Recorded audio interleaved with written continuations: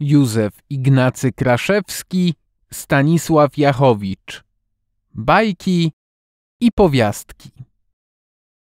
Stanisław Jachowicz, Marcinek. Do Józia. Między grzecznymi dziećmi są czasem mazgaje. Jak ci się też, Józiu, zdaje, czy dobrze na tem wychodzą? O, wierz mi, jak cię kocham, same sobie szkodzą. Marcinek, jak ty, malutki, o najmniejszą drobnostkę zaraz stroił dudki. Czy mu się co zapowiedziało, czyli kiedy od mamy dostał czego mało? Czy kto nań palec zakrzywił, zaraz się rzewnie roztkliwił.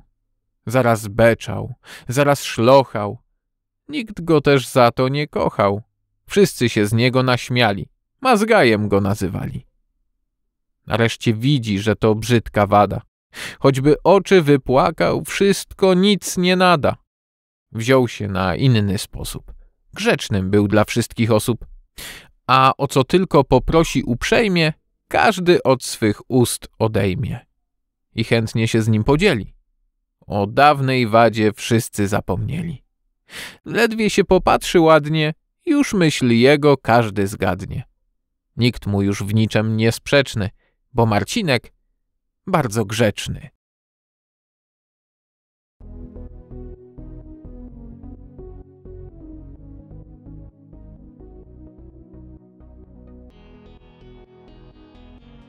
Hej Lisku. Czytał tata Mariusz, czyli Mariusz Rzepka. Dzięki, że jesteś i do usłyszenia.